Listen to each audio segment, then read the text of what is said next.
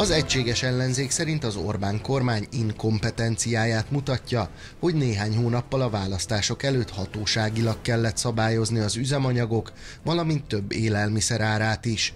Mindeközben 100 milliárdokat költ a 13. havi nyugdíjra, valamint a családosok SZIA visszatérítésére a kabinet. Az ellenzék gazdasági programjáról Király Júliát kérdezzük. Jó estét kívánok!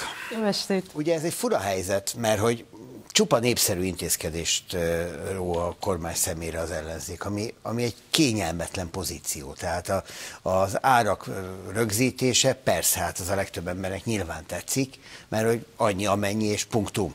Az, hogy osztogatás van, hát nem osztogatás van, végre emelik a nyugdíjat. Végre azt a rengeteg elvont személyi jövedelemadót valahogy visszaadják, mert hát az borzalmas mennyi. Tehát, hogy ezek népszerű dolgok joggal. Hát ezzel ellen hogy lehet észérvekkel szembe menni? Szerintem nem is a mind, nem is minden intézkedéssel megy szembe az ellenzék, már nem akarok az ellenzék nevében nyilatkozni. Az például, hogy a 13. havi nyugdíj megmarad, nagyon sokszor és nagyon sok helyen mondtuk már azt, hogy például a, a tanárok fizetését végre emelik, hogy a közművelődésben dolgozók fizetését végre emelik, valószínűleg, hogy még inkább kéne, hát Hiller István pont erről beszélt az előbb. Az árszabályozás az egy érdekes dolog. Tehát az árszabályozást meg se fogja érezni senki ezt a típusú árszabályozást, hiszen nem sokkal lesz alacsonyabb, néhol magasabb lesz, mint októberben volt, ahol rögzítették. Nem is ez hangzik jól, hanem az, hogy a miniszterelnök úr földgyűrve inge ujját dolgozik az ellen, hogy ezek az árak emelkedjenek. Ennek szimpla politikai üzenete van. Nem tudom, maga még emlékezhetsz, nem akarom öregíteni, de 1985-ben, amikor Kádár Ertás megmondta, hogy nem lesz Magyarországon infláció, akkor a pártkongresszus előtt voltak ugyanilyen típusú intézkedések, amit úgy hívtak, hogy hangulatjavító intézkedés. Ilyen szempontból persze. nekem teljesen déjà vu. Én már annyira idős vagyok, hogy még arra is emlékszem, amikor 73-ban nem gyűrűzött be az olajválság.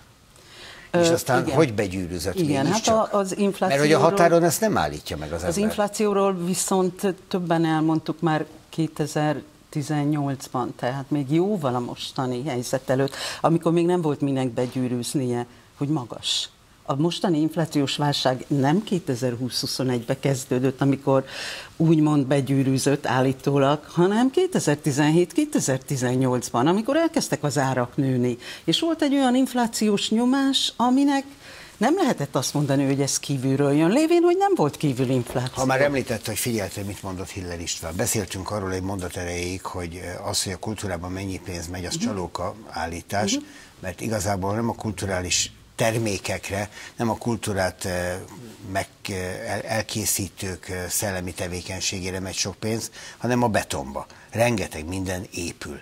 És hogy ez nem ugyanaz. Most az a magyar gazdaságra is nagyjából így lehet igaz, hogy rengeteg minden épül itt, csak valahogy mégsem lesz belőle igazi termelés. Picit menjünk vissza a kultúrára, és erre a beton kérdésre. Baromi jó a Magyar Zeneháza, tényleg, tényleg gyönyörűséges épület, nagyon rendben van. Csak egyet kell látni, hogy a kultúra nem ér véget Budapest határainál. Könyörgöm, a kultúráról azt kéne, hogy az valóban egy ország kultúrája legyen, mindenki kultúrája legyen, a kultúra mindenki, az ország mindenkié. Tessék megnézni, hogy ez a közel százezer ember, aki tényleg arról gondoskodik, hogy valamilyen módon az értékeink megőr, megőrződjenek. A könyvtárakban, a múzeumokban, a művelődési házakban, a színházakban milyen szörnyűségesen méltatlan körülmények között dolgoznak. Lerohadó épületekben, fűtetlen épületekben, nulla pénzért, valóban a közművelődésben dolgozók 80%-ának a garantált minimálbére van meg, felsőfokú, néha doktori végzettséggel. Hát ez szerintem tarthatatlan. Miközben baromira örülök tényleg én is a, a zeneházának, de azt gondolom, hogy nem Budapest határaig kell kultúrát csinálni, nem magas kultúra Ráadásul kell. a kultúra... Országnak az, kell kultúra. A kultúra az a gazdaságnak is támasza, nem?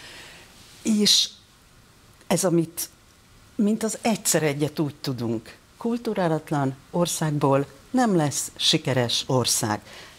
Lehet, hogy Paraglászló tényleg úgy gondolja, hogy ez a gyerek tanuljon meg reszelni, mielőtt bejön a gyárba és ne színészkedjen. Nem, innen üzenem Paraglászlónak, hogy az a gyerek, aki csak reszelni tanul meg, és nem színészkedik, és nem olvas, és nincsen kultúrája, na az soha nem lesz jó szakmunkás sem nem lesz innovatív ember, nem lesz gondolkodó ember, mert ha az iskolában nem tanítják meg kérdezni, és ebbe a mai túlcentralizált oktatásban nem tanítják meg kérdezni, hát akkor ez a gyerek nem lesz, nem lesz a gazdaság motorja sem.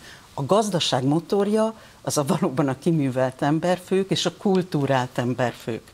Kulturálatlan emberből nem lesz sikeres és innovatív ember.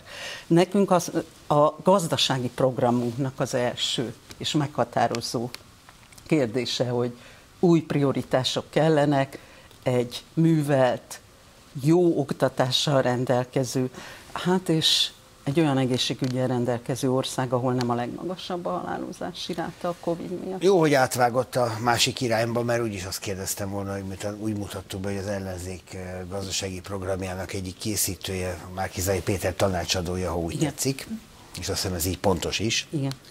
Mind dolgozik. Tehát mik azok a, az alapvetések, amiket már el lehet mondani, és amik egészen biztosan egy kormányváltás után ennek az ellenzéknek, az akkori kormányoldalnak a legfontosabb törekvései? A leglényegesebb és legfontosabb üzenet, ami szerintem nagyon sokszor elhangzott már, hogy a sikeres ország feltétele, hogy ebben az országban egy felszabadult oktatási rendszer legyen, egy jó, erős oktatási rendszer, hogy ebben az országban egy erős és jó egészségügyi rendszer legyen, és ezek a programok készülnek. Tehát az általam mondott, talán kicsit túl általános célokon kívül a szakprogramok, a szakpolitikák lassan kialakulnak. Ennek egy része kampányprogram lesz, de készül a kormányprogram. Tehát azt gondolom, hogy ez az ellenzék, ha oda kerül a a kormányrúd mellé, akkor nem fog elhangozni az a híres bekekatai mondat, hogy Úristen, győztünk, nem? Készülünk rá.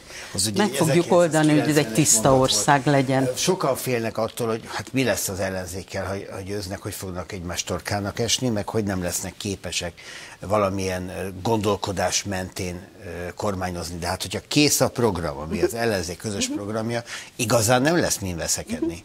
Tehát azt meg kell valósítani. Az, ez nem volt könnyű, tehát azért nem is azért lényeges a választási program, hogy most bocsánat, az újságírók mit fognak olvasni. Azért lényeges a választási program, hogy mindezek a viták megtörténjenek. És én az elmúlt hónapokban nekem egy rendkívül Gazdasági élményem mik a legélesebb viták az ellenzéken belül? Az Eurót említette például Jakab Péter, az Euró bevezetése, vagy hogyan De bevezetése kérdés. Ugye, tehát a, az egyik, egyik nagy pozitív, hogy mind, mindegyik politikai oldal képes volt valamiben meghátrálni, és valami mellett kiállni. Amit erről például tudunk, hogy öt évet kér az ellenzék arra, hogy az Eurót be lehessen vezetni, az reális célkitűzés? Bocsánat, az van, hogy mindent elkövetünk, hogy öt éven belül csatlakozni Igen. tudjunk az eurózónához. Jó, de hát az ötödik évben nyilván meg fogom kérdezni, amíg itt hát az, az hogy nagyszerű. hol tetszik tartani ezzel, hát meg volt ez ígérve. A, nagyon sok mindent meg lehet csinálni.